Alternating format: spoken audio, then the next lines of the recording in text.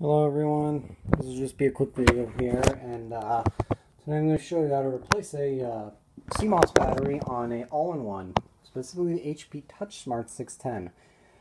Now on these things uh, it's a little bit of a pain to get to, so I'll show you what you need to remove. So um, right now I'm cleaning this out, but you need you would need to remove the you would need to I believe remove. Let me double check here.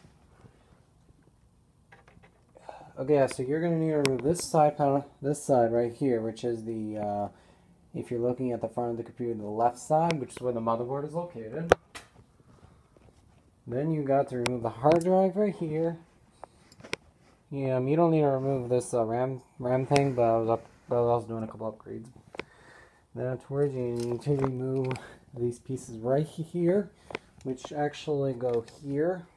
These are like uh, the brakes, which hold the uh, so there's two on here. One's held in by three screws, the other one's held by two. And then afterwards, you remove this monster right here, which just snaps right over the top top here. So once you get once you get all that crap off, CMOS battery is right in there, right next to your uh, two gigabyte MXM graphics card. I'm also going to be doing the upgrade the CPU, assuming it isn't soldered. So that is how you replace the CMOS, and then you know then the reassembly is the opposite of disassembly. So this is how you replace the CMOS battery on a uh, HP TouchSmart.